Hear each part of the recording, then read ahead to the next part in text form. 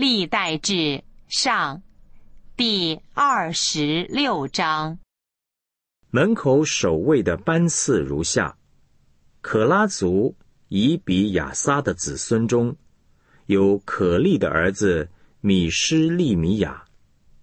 米施利米亚的长子是撒加利亚，次子是耶迭，三子是西巴蒂亚，四子是耶提涅，五子是以兰。六子是约哈南，七子是以利约乃。俄别以东的长子是士玛雅，次子是约萨拔，三子是约亚，四子是沙甲，五子是拿坦叶，六子是亚米利，七子是以萨迦，八子。是皮乌利泰，因为神赐福给俄别以东，他的儿子士玛雅生了几个儿子，都是大能的勇士，管理父亲的家。士玛雅的儿子是俄德尼、利法义、俄贝德、以利萨巴。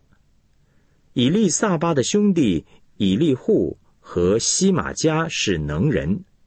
这些都是俄别以东的子孙，他们和他们的儿子以及兄弟都是善于办事的能人。属俄别以东的共六十二人，米施利米亚的儿子和兄弟都是能人，共十八人。米拉利子孙中的何萨有几个儿子？为首的是申利，他原不是长子。是他父亲立他为首的，次子是希勒家，三子是底巴利亚，四子是撒加利亚。何萨的儿子和兄弟共十三人。这些是门口守卫的班次，各随他们的班长，与他们的兄弟一同在耶和华殿里按班供职。他们无论大小，都按着父系抽签，分守各门。抽到东门的是势利米亚，他的儿子撒加利亚是精明的谋士。抽到北门，俄别以东守南门，他的儿子守仓库。舒聘与何萨守西门，在靠近沙利基门通往上去的街道上。守卫与守卫相对，东门有六个立位人，北门每日有四人，南门每日有四人，库房有两人轮流替换。至于走廊，在西面街道上有四人，在走廊上有两人。以上是可拉子孙和米拉利子孙门口守卫的班次。立位人中有亚西亚管理神殿的库房和圣物的库房。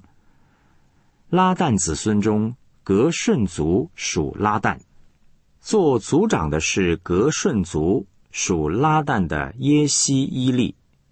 耶西伊利的儿子西坦和他兄弟约尔管理耶和华殿的库房。暗兰人、以斯哈人。希伯伦人、乌薛人也有职务。摩西的孙子格顺的儿子细布叶管理库房，还有他的弟兄以利以谢。以利以谢的儿子利哈比亚，利哈比亚的儿子耶筛亚，耶筛亚的儿子约兰，约兰的儿子细基利，细基利的儿子示罗密。这示罗密和他的兄弟管理一切库房的圣物，就是大卫王和众族长、千夫长、百夫长以及军官所分别为圣之物。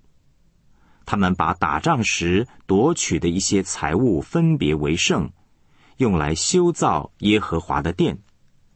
凡撒母耳先见基士的儿子扫罗，尼尔的儿子亚尼尔，席鲁雅的儿子约押分别为圣的，一切分别为圣之物，都归示罗密和他的兄弟掌管。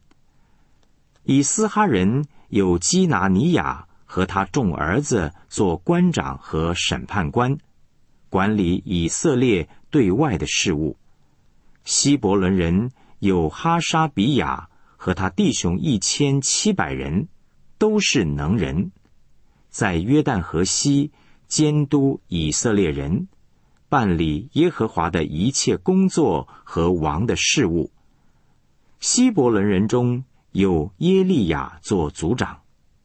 大卫做王第四十年，在各族各家从事寻访，在激烈的雅谢，从这族中。发现大能的勇士耶利亚的弟兄有二千七百人，都是能人，又是族长。